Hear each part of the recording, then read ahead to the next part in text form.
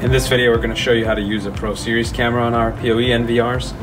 So this is a uh, Pro Series camera on the bottom of the camera serial number. It actually has an IP address here, 10.1.1. something.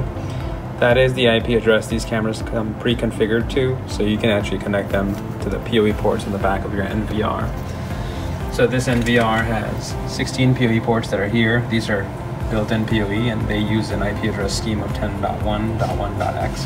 And there's another network port here that connects to your network. So we're going to be connecting the camera directly into one of these ports right here. So I've got the camera and I've got a cable coming out the second PoE port there.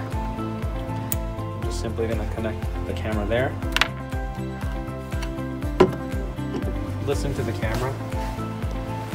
You'll know the camera's working when you hear a click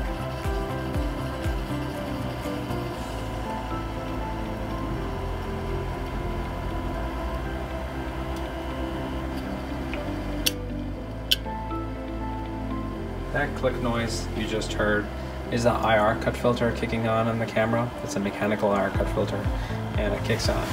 Also, you can tell if the camera's working or not by cusping your hands around it and looking for its infrared LEDs to glow.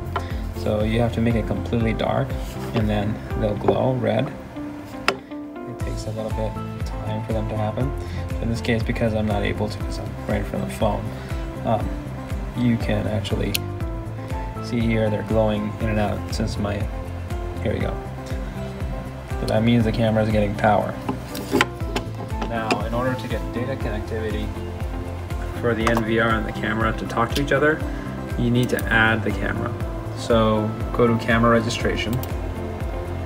If it asks you to log in, I'll show you what the login screen looks like. Let's go to camera registration, put in the password, then add a camera. Doing a device search will not pull up sometimes these cameras, so you have to do manual add. Select ONVIF as the manufacturer, IP address, put in the IP address for that camera that you just connected. It's 10 dot 1 dot 1 dot. In this case it is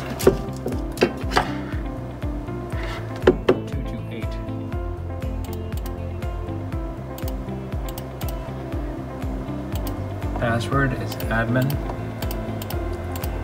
And make sure to set the HTTP port to 2000. Please don't change the passwords on the cameras. There's no need if they're being plugged into the back of the NVR. Press OK. This red light will turn into green when the camera is connected. In this case it is. Now I've got two of the same type of cameras. So this is the first one that was already there, and now here's the second one that I just added. You can go to view and then choose the camera number. And here's the second camera that I just added. If you need to control the lens, go to PTZ, press the zoom button, and that will let you zoom in and out. Sometimes when you turn on the camera and the zoom is out of focus, the lens is out of focus rather, just use this zoom menu to set the zoom differently and that will allow you to put the camera back in focus. Its autofocus lens will focus on a focal length you set. That's pretty much it. This is how you add these cameras to our PoE NVRs. Thanks for watching.